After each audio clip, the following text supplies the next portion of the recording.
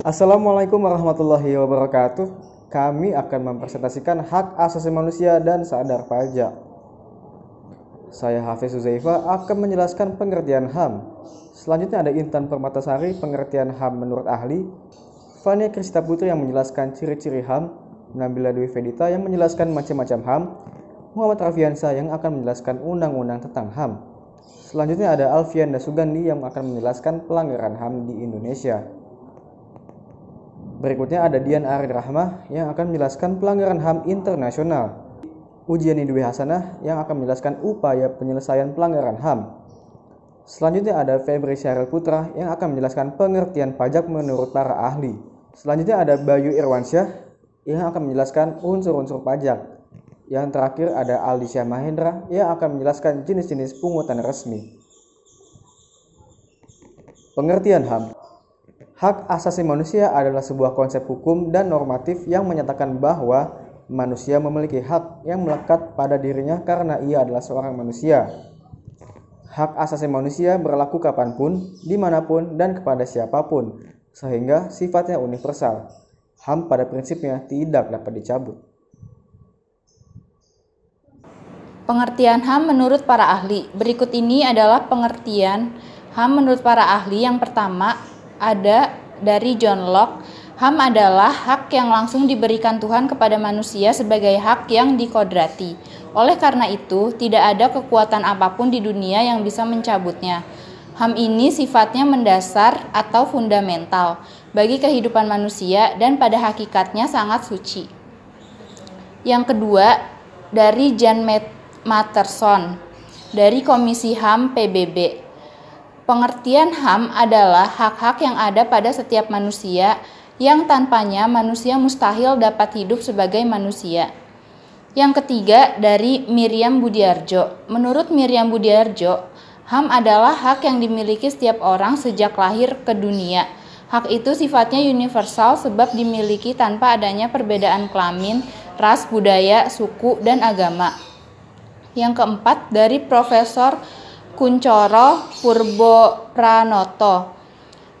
Pengertian HAM adalah suatu hak yang sifatnya asasi atau mendasar. Hak-hak yang dimiliki setiap manusia berdasarkan kodratnya yang pada dasarnya tidak akan bisa dipisahkan sehingga bersifat suci. 5 dari Omar Seno Aji. Pengertian HAM adalah hak yang melekat pada setiap martabat manusia sebagai insan dari ciptaan Tuhan yang Maha Esa yang sifatnya tidak boleh dilanggar oleh siapa pun. Yang keenam dari Jack Donnelly. Definisi HAM adalah hak-hak yang dimiliki manusia semata-mata karena ia manusia. Umat manusia memilikinya bukan karena diberikan kepadanya oleh masyarakat atau berdasarkan hukum positif, melainkan semata-mata berdasarkan martabatnya sebagai manusia. Yang ketujuh dari Undang-Undang Nomor 39 Tahun 1999 Pasal 1 Pengertian HAM adalah seperangkat hak yang melekat pada diri manusia sebagai makhluk ciptaan Tuhan yang Maha Esa, di mana hak tersebut merupakan anugerah yang wajib dilindungi dan dihargai oleh setiap manusia. 8. Menurut David Betham dan Kevin Boyle, pengertian HAM adalah kebebasan fundamental dan hak-hak individual yang berasal dari kebutuhan-kebutuhan serta kapasitas-kapasitas manusia. Berikut ini akan dilanjutkan oleh Fania, yaitu tentang ciri-ciri HAM. Berikut ini saya akan jelaskan mengenai ciri-ciri HAM dan sifat-sifat HAM. Di antaranya bersifat universal dan hakiki. Ciri-ciri HAM hakiki, universal, tetap dan tidak dapat tetap dan tidak dapat dibagi, utuh dan tidak dapat dibagi, dimiliki oleh manusia bersifat kuadrati, dan yang terakhir adalah dihormati dan dijunjung tinggi. Bersifat hakiki.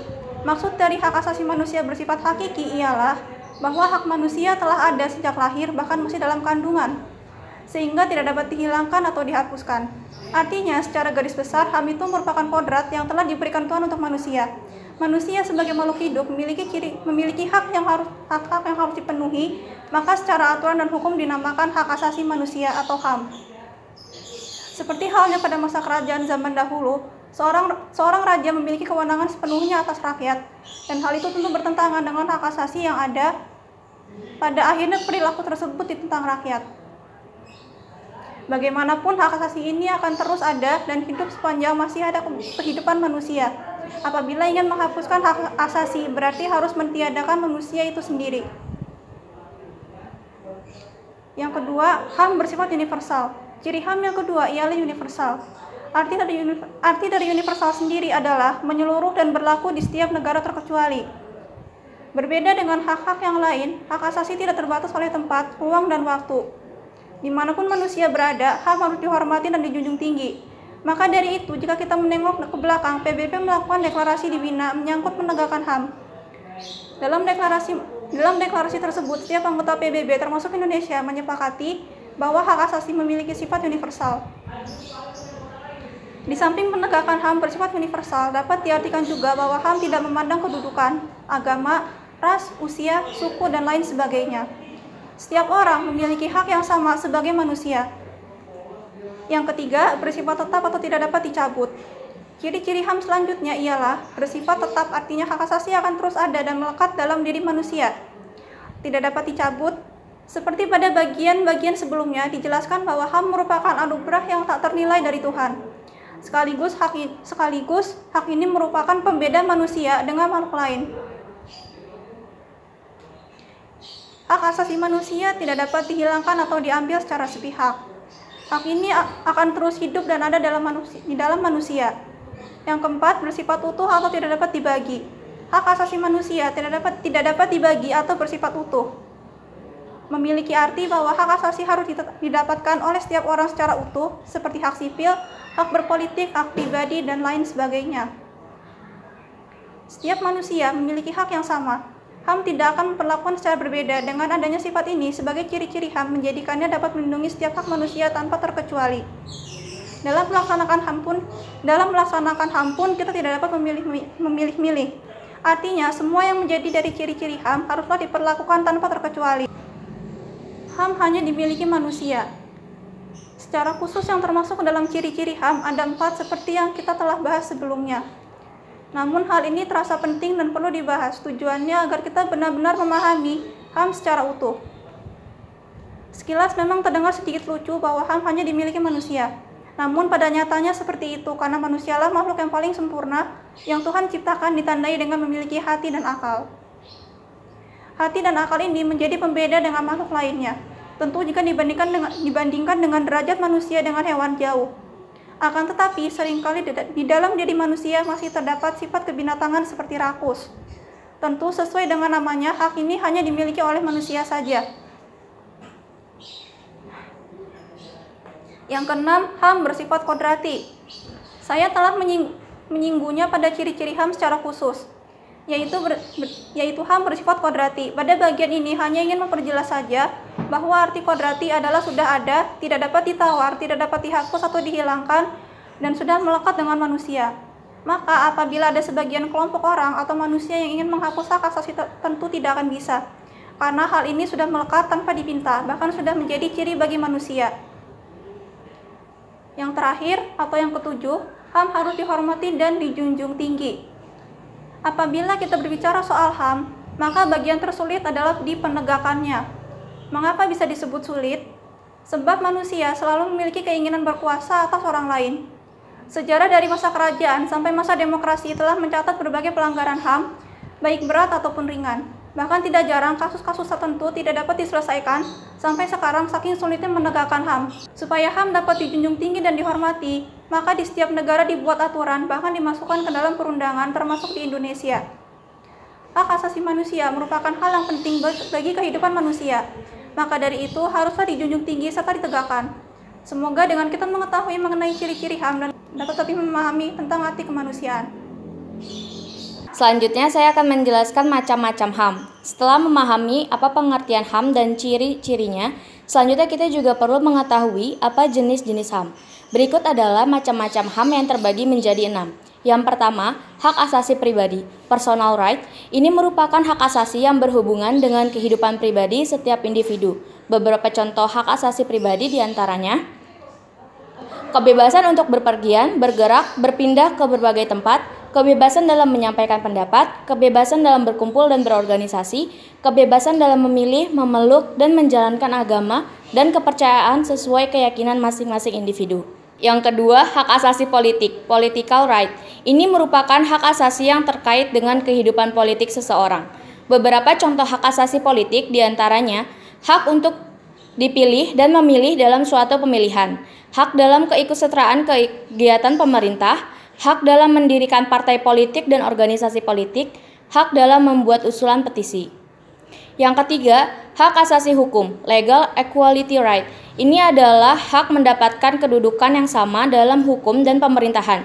Beberapa contoh hak asasi hukum di antaranya hak untuk mendapatkan perlakuan yang sama dalam hukum dan pemerintahannya, hak seseorang untuk menjaga untuk menjadi pegawai negeri sipil, hak untuk mendapatkan perlindungan dan pelayanan hukum, hak dalam mendapatkan dan memiliki pembelaan hukum pada peradilan. Yang keempat, hak asasi ekonomi, property right, ini merupakan hak masing-masing individu terkait dengan kegiatan perekonomian. Beberapa contoh hak asasi ekonomi di antaranya kebebasan dalam kegiatan jual beli, kebebasan dalam melakukan perjanjian kontrak, kebebasan dalam penyelenggaraan sewa menyewa dan hutang piutang, kebebasan dalam memilih sesuatu, kebebasan dalam memiliki pekerjaan yang pantas. Yang kelima, hak asasi peradilan. Procedural right ini merupakan hak untuk mendapat perlakuan sama dalam tata cara pengadilan. Beberapa contoh hak asasi peradilan di antaranya hak untuk mendapatkan pembelaan hukum di pengadilan, hak untuk mendapatkan persamaan atas perlakuan penggeledahan, penangkapan, penahanan, dan penyelidikan di muka hukum hak memperoleh kepastian hukum, hak menolak digeledah tanpa surat adanya surat penggeledahan.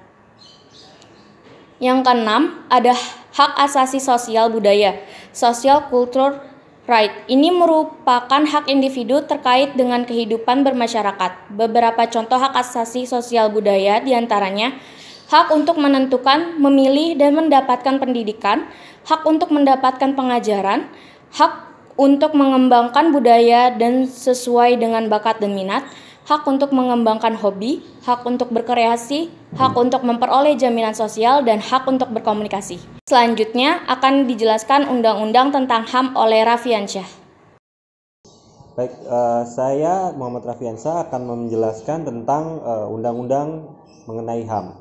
Undang-Undang Nomor 39 Tahun 1999 tentang hak asasi manusia atau Undang-Undang HAM adalah penghormatan kepada manusia sebagai makhluk ciptaan Tuhan yang masa esa yang mengemban tugas mengelola dan melahirkan alam semesta dengan penuh ketakwaan dan penuh tanggung jawab untuk kesejahteraan umat manusia.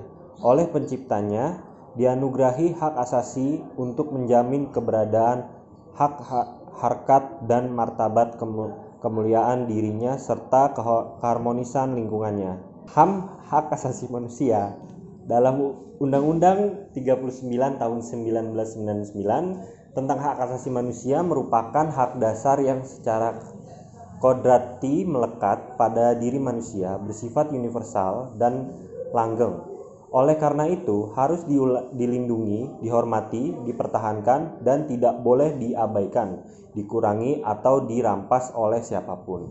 Selain hak asasi manusia, juga mempunyai kewajiban dasar antara manusia yang satu terhadap yang lain dan terhadap masyarakat secara keseluruhan dalam kehidupan bermasyarakat, bangsa, dan bernegara. Undang-Undang Nomor 39 Tahun 1999 tentang hak asasi manusia disahkan Presiden Baharudin Yusuf Habibie pada tanggal 23 September 1999 di Jakarta. Undang-Undang 39 tahun 1999 tentang hak asasi manusia diundangkan Menteri Sekretari, Sekretaris Negara Muladi pada tanggal 23 September 1999 di Jakarta. Undang-Undang Nomor 39 Tahun 1999 tentang Hak Asasi Manusia diundangkan dan ditempatkan pada Lembaran Negara Republik Indonesia tahun 1999 nomor 165. Penjelasan atas uh, Undang-Undang 39 tahun 1999 tentang HAM ditempatkan pada tambahan lembaran negara Republik Indonesia nomor 3886.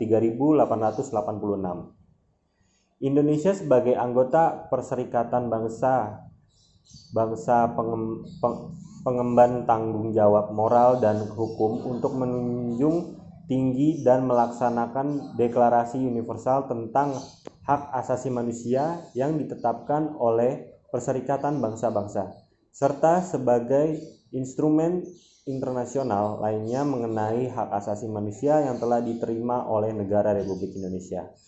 Dasar pemikiran pembentukan Undang-Undang Nomor 39 Tahun 1999 tentang Hak Asasi Manusia atau UU HAM adalah Tuhan Yang Maha Esa adalah pencipta alam semesta dengan segala isinya.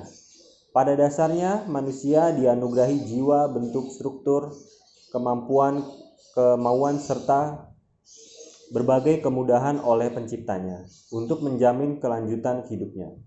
Untuk melindungi, mempertahankan, dan meningkatkan martabat manusia, diperlukan pengakuan dan perlindungan hak asasi manusia karena tanpa hal tersebut manusia akan kehilangan sifat dan martabatnya sehingga dapat mendorong manusia menjadi serigala bagai man manusia lainnya atau homo homini lupus. Karena manusia merupakan makhluk sosial, maka hak asasi manusia yang satu dibatasi oleh hak asasi manusia yang lain, sehingga kebebasan atau hak asasi manusia bukanlah tanpa batas. Hak asasi manusia tidak boleh dilenyapkan oleh siapa pun dan dalam keadaan apa pun. Setiap hak asasi manusia mengandung kewajiban untuk menghormati hak asasi manusia orang lain, sehingga dalam hak asasi manusia terdapat kewajiban dasar hak asasi manusia harus benar-benar dihormati, dilindungi, dan ditegakkan dan untuk itu pemerintah uh, aparatur negara dan penjabat publik lainnya mempunyai kewajiban dan tanggung jawab menjamin terselenggaranya penghormatan, perlindungan, dan penegakan hak asasi manusia.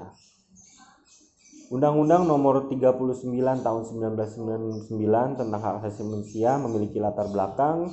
Pertimbangan UU 39 Tahun 1999 tentang Hak Asasi Manusia adalah bahwa manusia sebagai makhluk ciptaan Tuhan yang la, yang masa esa yang mengemban tugas mengelola dan mem, memelihara alam semesta dengan penuh ketakwaan dan penuh tanggung jawab untuk kesejahteraan umat manusia oleh penciptanya dianugerahi hak asasi untuk menjamin keberadaan, harkat, dan martabat kemuliaan dirinya serta keharmonisan lingkungannya.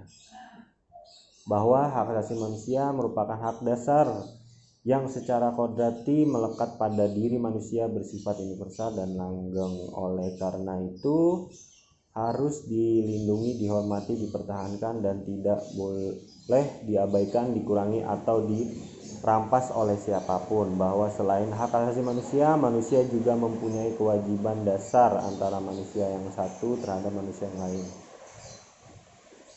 Yang masyarakat secara keseluruhan dalam kehidupan masyarakat, bangsa, dan bernegara.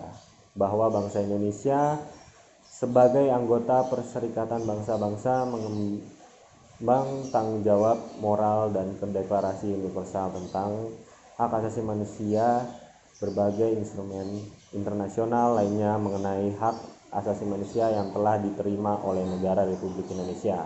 Bahwa berdasarkan pertimbangan sebagaimana dimaksud dalam huruf A, B, C, dan D dalam rangka melaksanakan ketetapan Majelis Permusyawaratan Rakyat Republik Indonesia nomor 17 eh, garis miring MPR garis miring 1998 tentang hak asasi manusia perlu membentuk undang-undang tentang hak asasi manusia.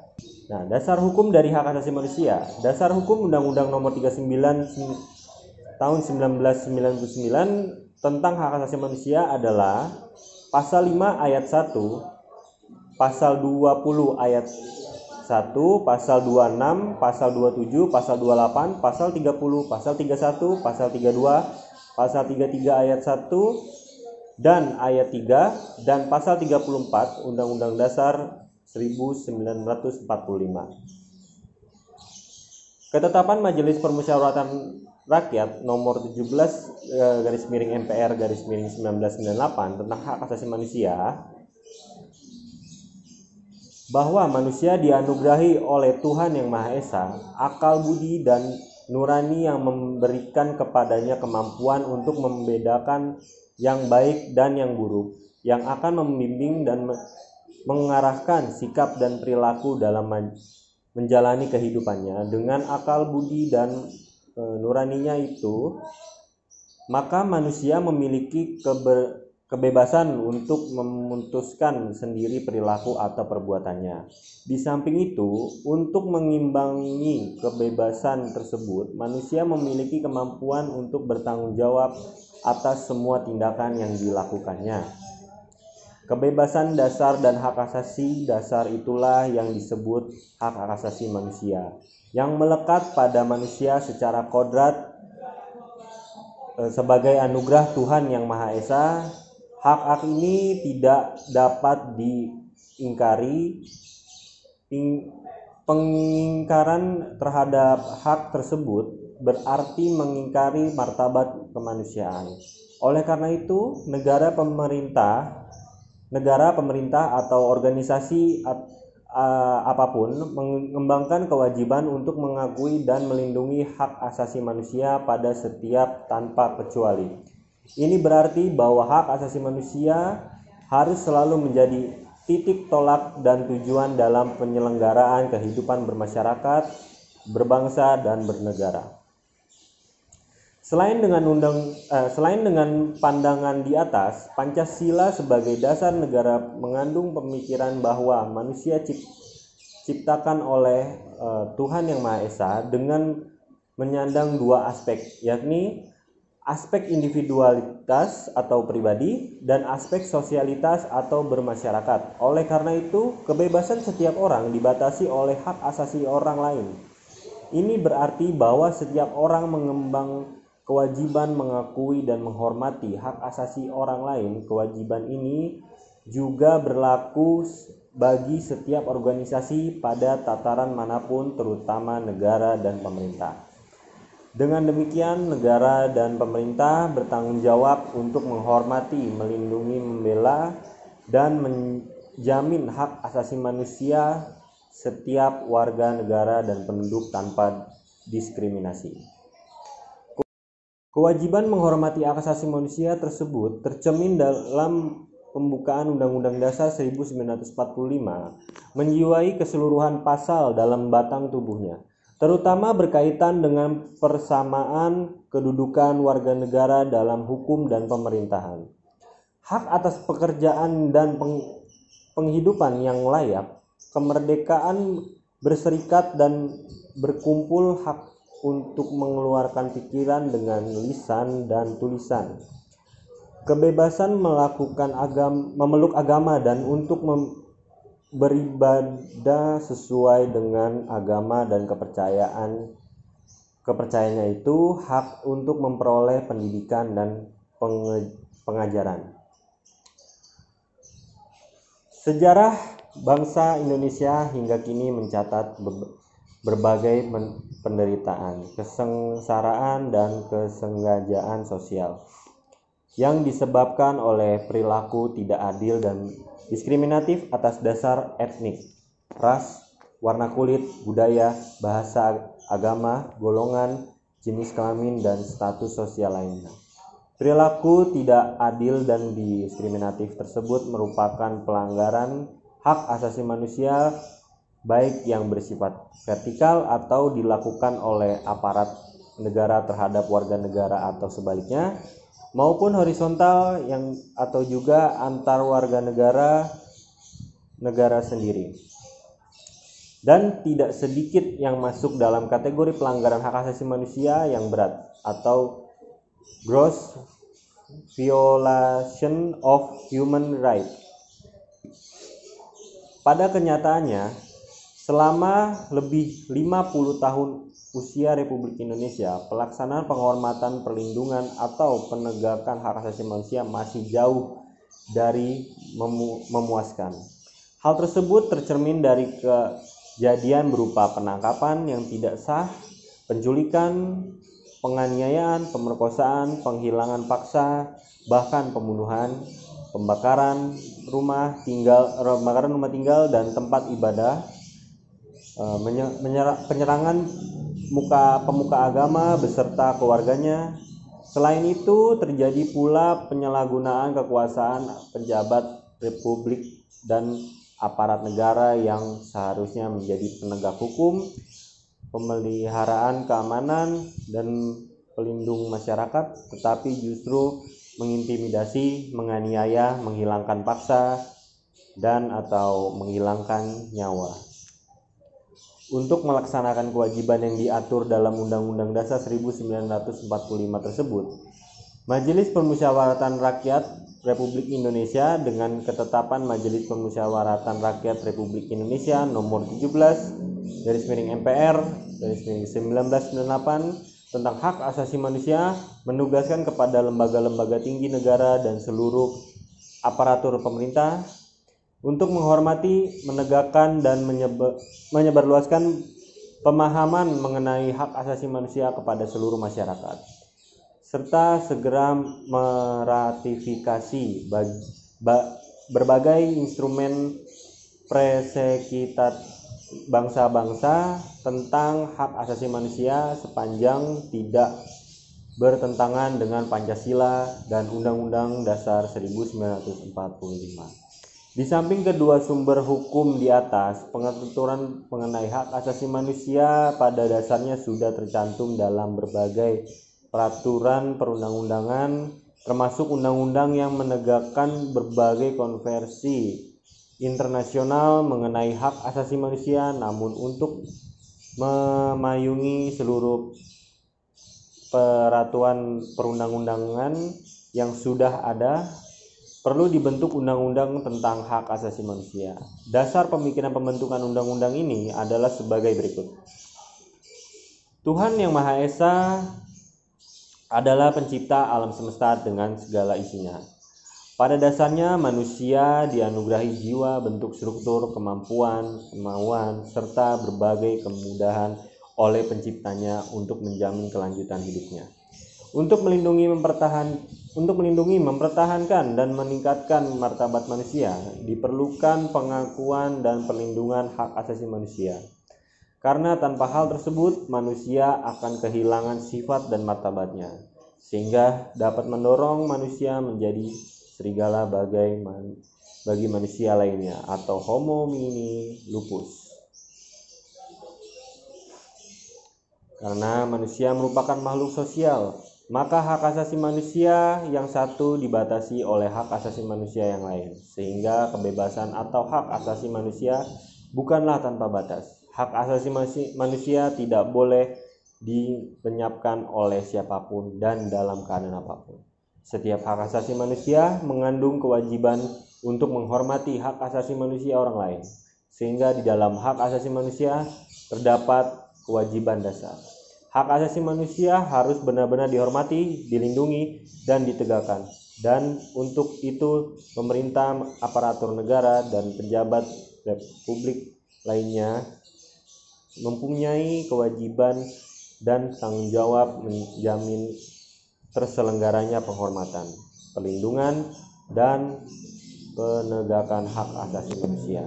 Dalam undang-undang ini, pengaturan mengenai hak asasi manusia ditentukan dengan pedoman pada Deklarasi Hak Asasi Manusia Perserikatan Bangsa-Bangsa, Konvensi Perserikatan Bangsa Bangsa tentang penghapusan segala bentuk diskriminasi terhadap wanita, konvensi perserikatan bangsa bangsa tentang hak hak anak dan berbagai instrumen in- internasional lainnya yang mengatur mengenai hak asasi manusia.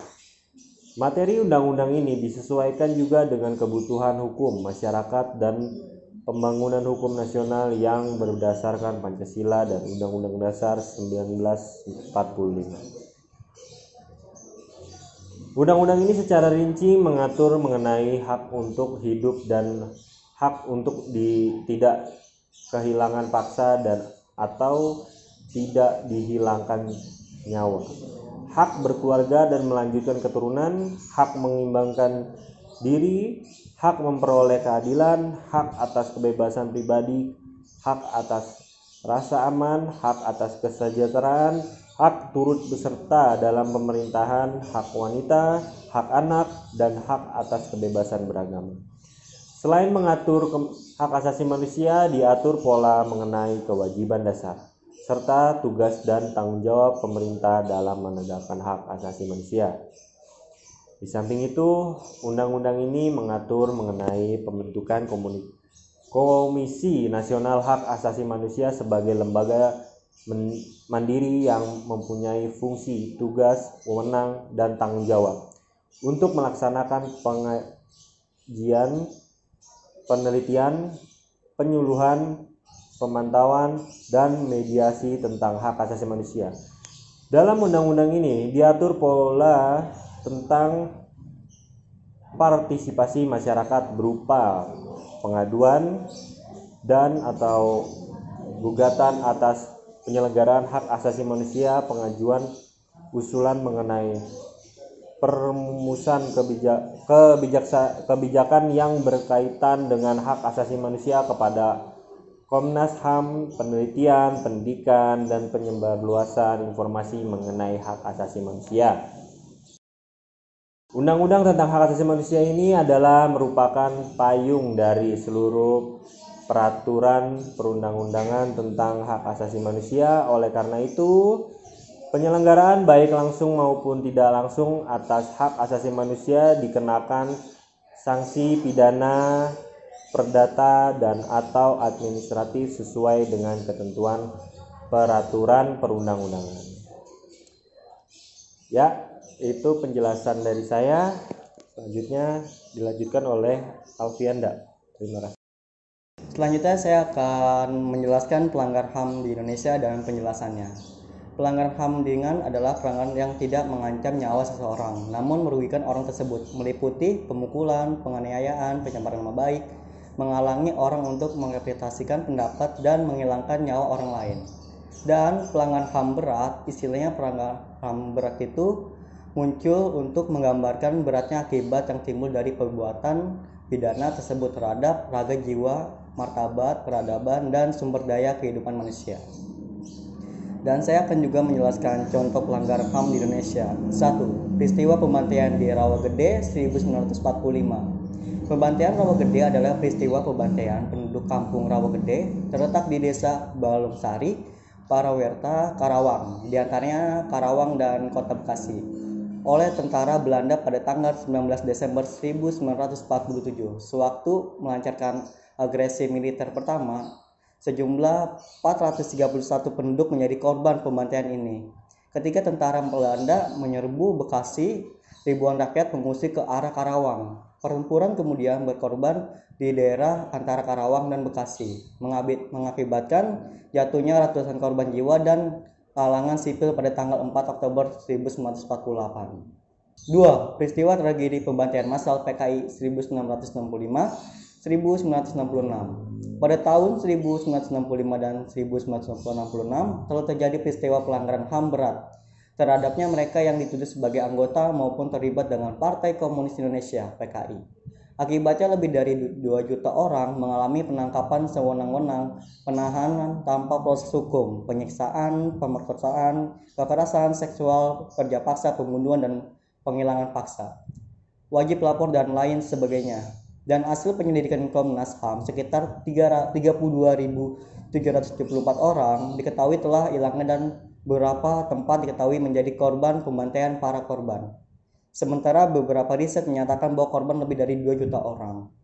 Tidak hanya korban, keluarga korban pun turut mengalami diskriminasi antara tuduhan sebagai keluarga PKI, selain harus kehilangan pekerjaan banyak di antaranya yang tidak bisa melanjutkan pendidikan, dikucilkan dan di lingkungan hingga kesulitan untuk memperoleh pekerjaan dan penghidupan yang layak. 3. Peristiwa Tanjung Priuk 1984 Peristiwa Tanjung Priuk adalah peristiwa kerusuhan yang terjadi pada 12 September 1984 di Tanjung Priuk, Jakarta. Indonesia yang mengalami sejumlah korban tewas dan luka-luka serta sejumlah gedung rusak terbakar. 1. Sekelompokan massa melakukan defil sambil merusak sejumlah gedung dan akhirnya bentrok dengan aparat yang kemudian menembaki mereka sedikit 90 orang tewas terbakar dalam kerusuhan tersebut dan 24 orang tewas oleh tindakan aparat. Pada tanggal 10 September 1984, Sersan Hermanu, seseorang anggota Bintara pembina desa, tiba di Masjid As-Sadadi, Tanjung Priok, Jakarta Utara dan mengatakan kepada pengurusnya Amir Biki untuk menghapus brosur dan spanduk yang mengkritik pemerintah. Biki menolak permintaan ini lantas Hermanu menindak sendiri. Saat melakukan dia, dia dilaporkan memasuki area sholat masjid tanpa melepas sepatunya. Sebuah pelanggaran serius terhadap etika masjid. Sebagai tanggapan warga setempat yang dipimpin oleh pengurus masjid Saripudin Rambe dan Sofwan Sulaiman membakar motornya dan menyerang Hermanu saat dia serang berbicara dengan petugas lainnya. Dan selanjutnya akan dijelaskan oleh Diana Rifama tentang pelanggaran HAM internasional. Baiklah, selanjutnya saya akan menjelaskan tentang pelanggaran HAM internasional. Hak asasi manusia adalah hak dasar atau hak pokok yang ada di setiap manusia yang ada sejak lahir sebagai anugerah dari Tuhan Yang Maha Esa. Hak ini nggak bisa diambil, dibeli, diminta, atau diwarisi. Sedangkan pelanggaran HAM adalah pelanggaran terhadap hak asasi orang lain yang dilakukan oleh seseorang atau sekelompok orang dengan tujuan tertentu. Gak cuma terjadi di Indonesia, kasus pelanggaran HAM juga bisa terjadi di dunia. Kasus pelanggaran HAM internasional secara garis besar bisa dibedakan menjadi empat kategori yaitu kejahatan genosida atau the crime of genocide adalah setiap perbuatan yang dilakukan dengan maksud untuk menghancurkan atau memusnahkan seluruh atau sebagian kelompok bangsa ras, kelompok etnis, dan kelompok agama. Berikut ini contoh kejahatan genosida yang pernah terjadi di internasional, yaitu Holocaust oleh Nazi Jerman. Setelah berkuasa pada tahun 1933, Partai Nazi Jerman menetapkan strategi penganiayaan, pembunuhan, dan genosida yang sangat terorganisir yang bertujuan untuk memurnikan Jerman secara etnis. Ini sebuah rencana yang disebut Hitler solusi akhir 6 juta orang Yahudi dan 5 juta Slavia, Roma, disabilitas, saksi Yehua, homoseksual, dan pembangkang politik dan agama tewas selama Holocaust. Sepanjang malam 9 sampai 10 November 1938, kerusuhan di seluruh Jerman, Austria, dan bagian dari Cekoslowakia, sekarang Ceko dan Slavia, yang dikuasai Jerman menargetkan orang-orang Yahudi dan tempat-tempat bisnis dan ibadah mereka. Malam-malam ini dikenal sebagai Kristallnacht atau malam kaca pecah. Selama dua malam itu ratusan dan mungkin ribuan sinagog dibakar. Lebih dari 7.000 bisnis milik Yahudi dijarah dan dihancurkan. Dan hampir 100 orang Yahudi terbunuh selama kerusuhan. Sekitar 30.000 pria Yahudi ditangkap dan diangkut ke kamp konsentrasi. Genosida Armenia Pembantaian massal era Perang Dunia I dan deportasi hingga 1,5 juta orang Armenia oleh Turki Ottoman adalah masalah yang sangat sensitif bagi baik di Armenia maupun Turki. Etnis Armenia yang tinggal di Kesultanan Ottoman dikumpulkan, dideportasi dan dieksekusi atas pemerintah pemerintahan. Pembantaian pemulangan deportasi paksa dan kematian karena penyakit di kamp-kamp konsentrasi diperkirakan telah menewaskan lebih dari satu juta etnis Armenia. Asyur dan Yunani antara 1915 dan 1923, akar genosida terletak pada runtuhnya Kekaisaran Ottoman. Pada pergantian abad ke-20, Kekaisaran Ottoman yang dulu tersebar luas runtuh. Kekaisaran Ottoman kehilangan semua wilayahnya di Eropa selama Perang Balkan 1912 sampai 1913 menciptakan ketidakstabilan di antara kelompok-kelompok etnis nasionalis. Pada tahun 1894, pembantaian kotak di telinga adalah yang pertama dari pembantaian Armenia. Pasukan Utsmani, militer dan warga sipil menyerang desa-desa Armenia di Anatolia Timur. Menewaskan 8.000 orang Armenia termasuk anak-anak. Kejahatan melawan kemanusiaan crimes against humanity adalah istilah di dalam hukum internasional yang mengacu pada tindakan pembunuhan dengan penyiksaan terhadap tubuh orang-orang sebagai suatu kejahatan penyerangan terhadap yang lain. Berikut ini contoh kejahatan melawan kemanusiaan. Situs Myanmar Times pada Maret 2018 mempublikasikan pernyataan Dewan HAM PBB yang menyebut adanya pelanggaran HAM yang dilakukan oleh aparat keamanan Myanmar. Tudingan itu berdasarkan bukti temuan sejumlah kuburan massal pada Februari 2018. Tindak perkosaan terhadap perempuan etnis Rohingya, pembakaran rumah-rumah penduduk, dan pencabutan anak hak-hak dasar etnis Rohingya seperti disaksikan oleh sejumlah komisi penasehat pada 2017. Invasi atau agresi suatu negara ke negara lain atau the crime of aggression.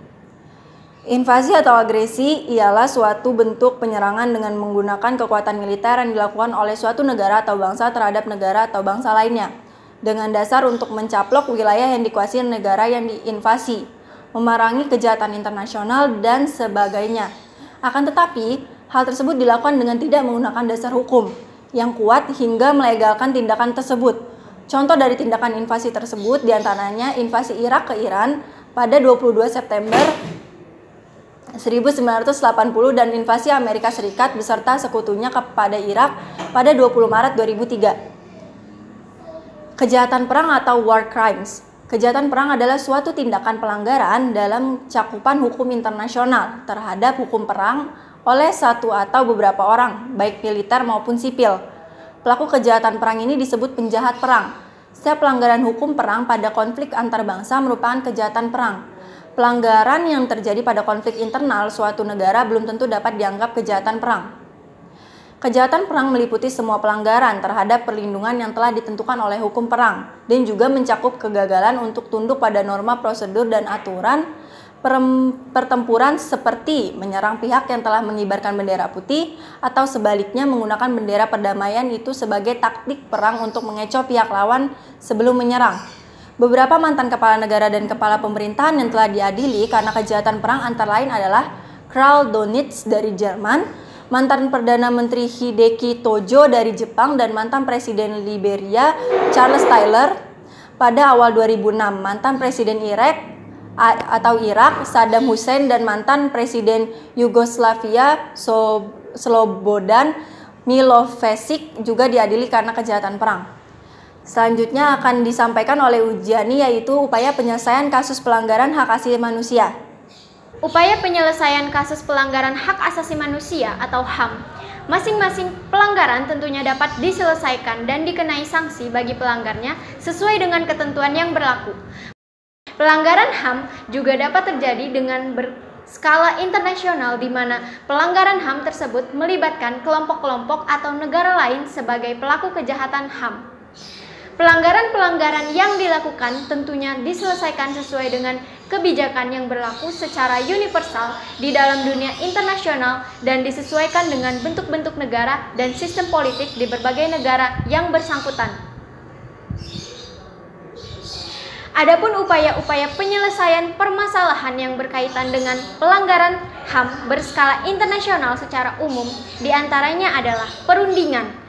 Jalan perundingan adalah jalan yang ditempuh dalam penyelesaian pelanggaran HAM yang mempunyai skala internasional. Perundingan dilakukan apabila melibatkan kelompok-kelompok tertentu dalam pelanggaran HAM yang terjadi seperti suatu kelompok negara melakukan pelanggaran HAM terhadap kelompok negara lain. Cara perundingan merupakan salah satu jalan damai yang ditempuh dalam upaya sengketa internasional yang dalam hal ini adalah pelanggaran HAM dengan skala internasional. Jalan damai dalam menyelesaikan kasus pelanggaran HAM dilakukan untuk menjaga keutuhan hubungan internasional dan organisasi internasional yang terjalin di antara negara-negara tempat terjadinya pelanggaran HAM berskala internasional supaya penyelesaian pelanggaran HAM dalam skala internasional yang dapat dilakukan melalui proses perundingan di antaranya. Yang pertama, negosiasi. Kedua belah pihak saling bertemu untuk membicarakan penyelesaian tentang pelanggaran HAM yang sedang terjadi. Namun, karena ini adalah kasus khusus, proses negosiasi untuk menyelesaikan permasalahan yang berhubungan dengan pelanggaran HAM dengan skala internasional biasanya berlangsung dengan cukup alot. Yang kedua, mediasi.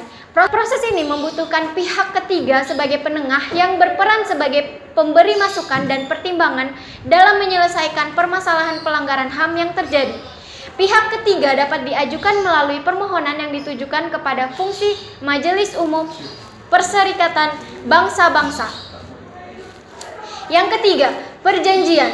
Kedua belah pihak yang sedang melakukan penyelesaian pelanggaran HAM dapat membuat perjanjian setelah proses negosiasi maupun mediasi dilakukan. Perjanjian diupayakan sebagai langkah damai untuk menyelesaikan masalah dengan menekankan poin-poin tertentu sebagai bentuk kesepakatan. Yang terakhir, kekerasan. Perang merupakan cara kekerasan dalam menyelesaikan permasalahan HAM berskala internasional. Perang dilakukan apabila pelanggaran HAM yang terjadi merupakan pelanggaran HAM yang tergolong berat dan tidak dapat diselesaikan melalui perundingan maupun perjanjian. Jika perang dilakukan, maka kemungkinan pelanggaran HAM akan meningkat seperti yang pernah terjadi di antara Blok Barat dan Blok Timur beberapa waktu lalu. Menurut Undang-Undang Republik Indonesia Nomor 39 Tahun 1999, hak asasi manusia adalah seperangkat hak yang melekat pada hakikat manusia dan keberadaan manusia sebagai makhluk ciptaan Tuhan yang Maha Esa dan merupakan anugerahnya yang wajib dihormati serta dijunjung tinggi dan dilindungi oleh negara, hukum, pemerintah, dan setiap masyarakat demi kehormatan serta perlindungan harkat dan martabat manusia. Pelanggaran HAM merupakan suatu tindakan pelanggaran kemanusiaan yang dilakukan oleh individu maupun oleh institusi negara atau institusi lainnya terhadap hak asasi individu lain tanpa ada dasar atau alasan yuridis dan alasan rasional yang menjadi dasarnya. Peradilan dan sanksi atas pelanggaran hak asasi manusia di Indonesia. Kasus pelanggaran HAM akan senantiasa terjadi jika tidak secepatnya ditangani dengan baik.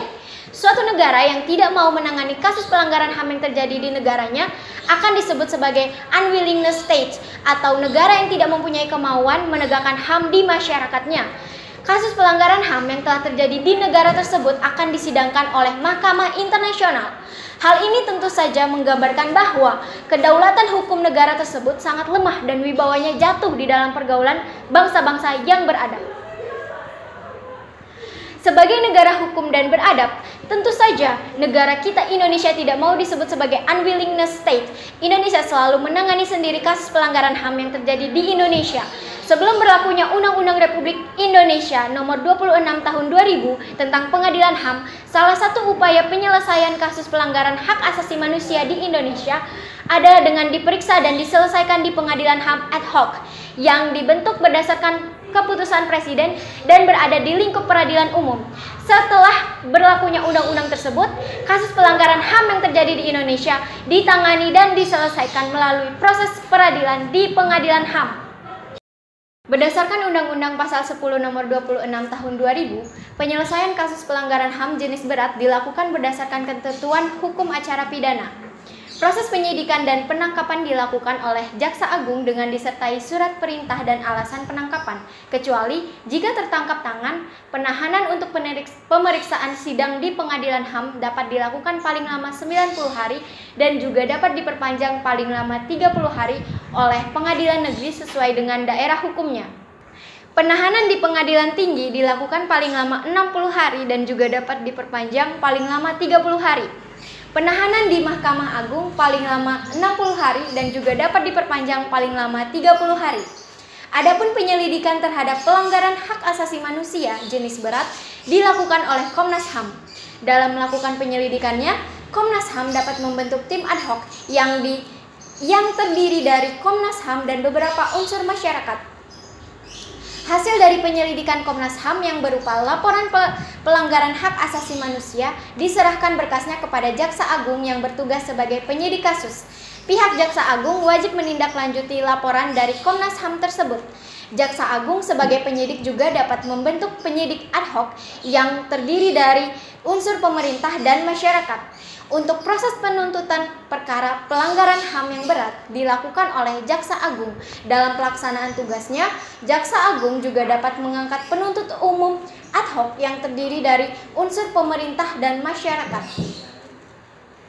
Setiap saat, pihak Komisi Nasional Hak Asasi Manusia dapat meminta keterangan secara tertulis kepada Jaksa Agung mengenai perkembangan penyidikan dan penuntutan perkara pelanggaran hak asasi manusia jenis berat jaksa penuntut umum ad hoc sebelum melaksanakan tugasnya harus mengucapkan sumpah atau janji terlebih dahulu.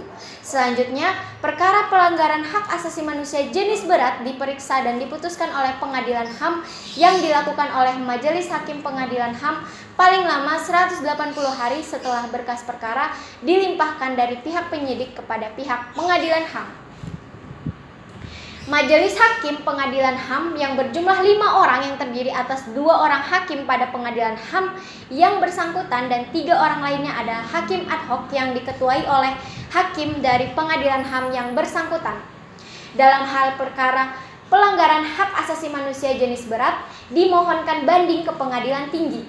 Perkara tersebut diperiksa dan diputus dalam kurun dalam kurun waktu paling lama 90 hari terhitung sejak perkara dilimpahkan ke pihak pengadilan tinggi. Pemeriksaan perkara pelanggaran HAM di pengadilan tinggi dilakukan oleh majelis hakim yang terdiri atas dua orang hakim pengadilan tinggi yang bersangkutan dan tiga orang lainnya adalah hakim ad hoc. Kemudian, dalam hal perkara pelanggaran hak asasi manusia jenis berat dimohonkan kasasi ke Mahkamah Agung. Perkara tersebut diperiksa dan diputus dalam kurun waktu paling lama 90 hari terhitung sejak perkara dilimpahkan ke Mahkamah Agung. Selanjutnya, peradilan dan sanksi atas pelanggaran hak asasi manusia internasional. Proses penanganan dan peradilan terhadap pelaku kejahatan hak asasi manusia internasional secara umum sama saja dengan penanganan dan peradilan terhadap pelaku kejahatan yang lain, sebagaimana dalam hukum acara pidana di Indonesia. Secara garis besar, apabila terjadi pelanggaran hak asasi manusia jenis berat dan berskala internasional untuk upaya penyelesaian kasus pelanggaran hak asasi manusia, proses peradilannya adalah sebagai berikut. Yang pertama, jika suatu negara sedang melakukan penyelidikan terhadap suatu kasus HAM, penyidikan atau penuntutan atas kejahatan yang terjadi, maka pengadilan pidana internasional berada dalam posisi inadmissible atau ditolak untuk menangani kasus kejahatan tersebut. Akan tetapi, posisi inadmissible dapat berubah menjadi admissible atau diterima untuk menangani perkara apabila negara yang bersangkutan enggan atau unwillingness atau tidak mampu atau unable untuk melakukan tugas investigasi dan juga penuntutan. Yang kedua, bila perkara yang telah diinvestigasi oleh suatu negara, kemudian negara yang bersangkutan tersebut telah memutuskan untuk tidak melakukan penuntutan lebih lanjut terhadap pelaku kejahatan, maka pengadilan pidana internasional berada dalam posisi inadmissible. Namun, posisi inadmissible dapat berubah menjadi admissible bila putusan yang berdasarkan keengganan atau unwillingness dapat dan ketidakmampuan atau unability dari negara tersebut untuk melakukan penuntutan Ketiga, jika pelaku kejahatan telah diadili dan juga memperoleh kekuatan hukum yang tetap, maka terhadap pelaku kejahatan tersebut telah melekat asas nebus in idem. Artinya, seseorang tidak dapat dituntut untuk kedua kalinya dalam perkara yang sama setelah terlebih dahulu diputuskan perkaranya oleh putusan dari pihak pengadilan peradilan yang berkekuatan tetap. Putusan pengadilan yang menyatakan bahwa pelaku kejahatan itu terbukti bersalah berakibat akan jatuhnya sanksi Sanksi internasional dijatuhkan kepada pihak negara yang dinilai melakukan pelanggaran atau tidak peduli terhadap pelanggaran hak asasi manusia di negaranya. Sanksi yang diterapkan ada bermacam-macam. Di antaranya, yang pertama, diberlakukannya travel warning atau peringatan kepada pengunjung ke negara tertentu bahwa negara tersebut berbahaya terhadap warga negaranya. Kedua, pengalihan investasi atau penanaman modal asing. Ketiga, pemutusan hubungan diplomatik. Keempat, pengurangan bantuan ekonomi. Kelima, pengurangan tingkat kerjasama. Keenam, pemboikotan produk ekspor. Dan terakhir, embargo ekonomi. Sekian presentasi dari saya, selanjutnya akan dilanjutkan oleh Febri Syahril mengenai pajak. Pengertian pajak. Pajak adalah pungutan wajib dari rakyat untuk negara. Setiap sen uang pajak yang dibayarkan rakyat akan masuk dalam pos pendapatan negara dari sektor pajak. Penggunaannya untuk membiayai belanja pemerintah pusat maupun daerah demi kesejahteraan masyarakat. Uang pajak digunakan untuk kepentingan umum, bukan untuk kepentingan pribadi. Pajak merupakan salah satu sumber dana pemerintah untuk mendanai pembangunan di pusat dan daerah, seperti membangun fasilitas umum, membiayai anggaran kesehatan dan pendidikan, dan kegiatan produktif lain. Pemungutan pajak dapat di paksakan karena dilaksanakan berdasarkan undang-undang menurut para ahli. Menurut Mardiasmo 2016, pajak merupakan iuran yang dibayarkan oleh rakyat kepada negara yang masuk dalam kas negara yang melaksanakan pada undang-undang serta pelaksanaannya dapat dipaksakan tanpa adanya balasan jasa. Iuran tersebut digunakan oleh negara untuk melakukan pembayaran atas kepentingan umum. Untuk melakukan pembayaran atas kepentingan umum, Mardiasmo 2016 unsur ini memberikan pemahaman bahwa masyarakat dituntut untuk membayar pajak secara sukarela dan penuh kesadaran sebagai warga negara yang baik. Penerimaan pajak adalah merupakan sumber penerima yang dapat diperoleh secara terus-menerus dan dapat dikembangkan secara optimal sesuai kebutuhan pemerintah serta kondisi masyarakat. Menurut Profesor Dr. Rohmat Soemitro SA dalam buku Perpajakan edisi revisi 2013 menjelaskan pajak adalah iuran rakyat kepada kas negara berdasarkan undang-undang yang dapat dilaksanakan. Dengan tiada mendapat jasa timbul kontrak reputasi yang langsung dapat ditunjukkan dan digunakan untuk membayar pengeluaran umum. Menurut Profesor Dr. PJA Andriani dalam buku Perpajakan Indonesia 2014, pajak adalah iuran kepada negara yang dapat dilaksanakan, yang terutang oleh yang wajib membayarnya menurut peraturan-peraturan dengan tidak mendapat prestasi kembali yang langsung dapat ditunjukkan dan yang digunakannya untuk membiayai pengeluaran-pengeluaran umum yang berhubungan dengan tugas negara yang menyelenggarakan pemerintah. Menurut Profesor Edwin R. A. Dalam buku Perpajakan Indonesia 2009, pajak adalah kontribusi wajib dari orang tersebut kepada pemerintah untuk membayar biaya yang dikeluarkan untuk kepentingan umum dari semua tanpa merujuk pada manfaat khusus konperet. Menurut Undang-Undang Ketentuan Umum dan Tata Cara Perpajakan Nomor 16 Tahun 2009 Pasal 1 Ayat 1 pajak adalah kontribusi wajib pajak kepada negara yang terutang oleh pribadi atau badan yang bersifat memaksa berdasarkan undang-undang dengan tidak mendapatkan imbalan secara langsung dan digunakan untuk keperluan negara bagi sebesar-besarnya kemakmuran rakyat. Berdasarkan pengertian pajak oleh beberapa ahli, maka pengertian pajak menurut saya adalah iuran wajib masyarakat kepada kas negara yang bersifat memaksa dengan imbalan yang tidak langsung dirasakan oleh masyarakat dan digunakan untuk keperluan negara. Selanjutnya, Bayu akan menjelaskan tentang unsur-unsur pajak. Terima kasih. Saya akan menjelaskan unsur-unsur pajak. Yang pertama ada subjek pajak. Unsur-unsur pajak yang pertama adalah subjek pajak. Kalau tidak ada subjek pajak, maka pajak tidak akan terkumpul. Setiap subjek pajak memiliki hak dan kewajiban yang berbeda sesuai dengan peraturan perpajakan. Menurut Undang-Undang Nomor 17 Tahun 2000, subjek pajak meliputi orang pribadi, warisan yang belum terbagi sebagai sebagai satu kesatuan, badan dan bentuk usaha, tapi orang pribadi dapat bertempat tinggal di Indonesia ataupun di luar Indonesia yang dapat dikategorikan dalam subjek pajak dalam negeri dan luar negeri. Dalam Undang-Undang tentang Ketentuan Umum dan Tata Cara Perpajakan, badan memiliki makna sekumpulan orang dan atau modal yang merupakan kesatuan baik yang melakukan usaha maupun tidak melakukan usaha.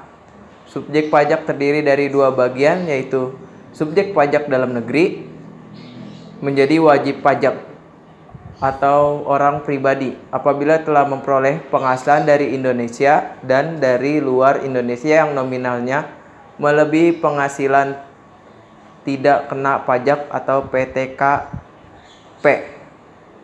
Jika orang pribadi lahir atau tinggal di Indonesia lebih dari 183 hari di Indonesia, tidak harus berturut dalam jangka waktu 12 bulan sejak kedatangan maka dikategorikan sebagai subjek pajak dalam negeri. Wajib pajak dalam negeri dikenakan pajak berdasarkan penghasilan neto dengan tarif umum dan penyampaian surat pemberitahuan tahun sebagai laporan pajaknya. Subjek pajak luar negeri Sedangkan subjek pajak luar negeri adalah orang pribadi atau badan yang bertempat tinggal di Indonesia atau di luar yang memperoleh penghasilan dari Indonesia, baik dari badan usaha ataupun tidak. Orang pribadi yang berada di Indonesia kurang dari 183 hari dalam 12 bulan, maka bisa disebut subjek pajak luar negeri.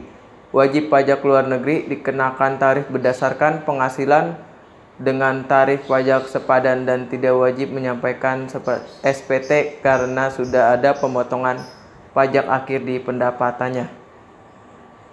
Objek pajak Objek pajak adalah salah satu bagian dari unsur-unsur pajak karena bisa menentukan berapa tarif pajak yang Anda harus bayar.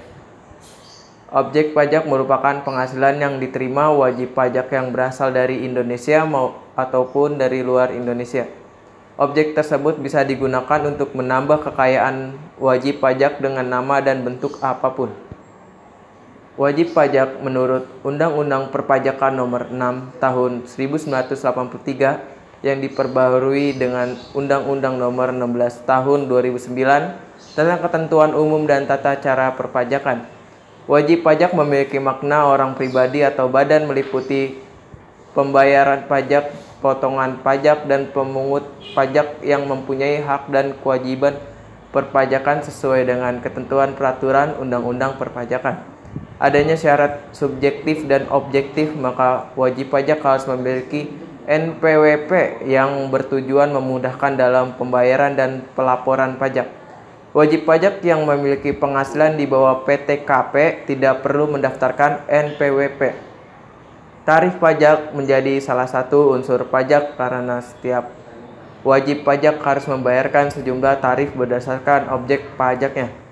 Tarif pajak ada empat jenis yaitu tarif pajak progresif, tarif pajak degresif, tarif pajak proporsional, dan tarif pajak tetap. Tarif pajak progresif persentasenya sebanding dengan kenaikan objek pajaknya seperti penghasilan PPh. Tarif pajak degresif yaitu tarif pajak yang presentasinya akan semakin rendah ketika objek pajaknya meningkat.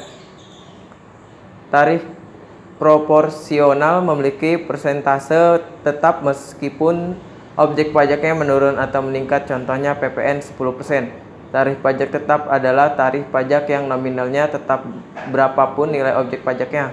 Contoh biaya materinya 6000. Sekian presentasi dari saya. Selanjutnya akan dijelaskan oleh Adi tentang jenis-jenis pungutan resmi. Saya akan menjelaskan jenis-jenis pungutan resmi. 1. Retribusi. Retribusi adalah iuran rakyat yang disetorkan melalui kas negara atas dasar pembangunan tertentu dari jasa atau barang milik negara yang digunakan oleh orang-orang tertentu. Jadi, dalam pemungutan retribusi tidak terdapat unsur paksaan dan ikatan pembayaran tergantung pada kemauan si pembayar, serta tidak selalu menggunakan sarana undang-undang. Dengan demikian, retribusi pada umumnya berhubungan dengan imbalan jasa secara langsung, misalnya pembayaran listrik, pembayaran abonemen air minum, dan sebagainya. 2. Cukai Cukai adalah iuran rakyat atas pemakaian barang-barang tertentu, seperti minyak tanah, bensin, minuman keras, rokok, atau tembakau. 3. Bea masuk. Bea masuk adalah bea yang dikenakan terhadap barang-barang yang dimasukkan ke dalam daerah pabean Indonesia dengan maksud untuk dikonsumsi di dalam negeri. Sementara itu, bea keluar adalah bea yang dikenakan atas barang-barang yang akan dikeluarkan dari wilayah pabean Indonesia dengan maksud barang tersebut akan diekspor ke luar negeri. Sumbangan Sumbangan adalah iuran orang-orang atau golongan orang tertentu yang harus diberikan kepada negara untuk menutupi pengeluaran-pengeluaran negara yang sifatnya tidak memberikan prestasi pada umum.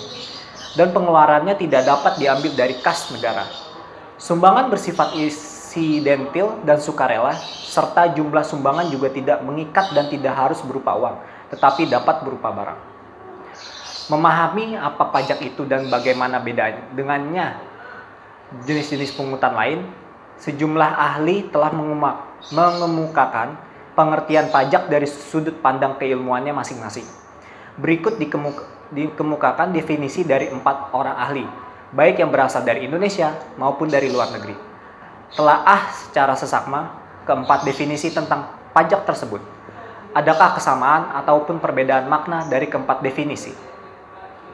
1. Leroy, Leroy Beaulieu 1899 Pajak adalah bantuan, baik secara langsung maupun tidak yang dipaksakan oleh kekuasaan publik dari penduduk atau dari barang untuk menutupi belanja pemerintah.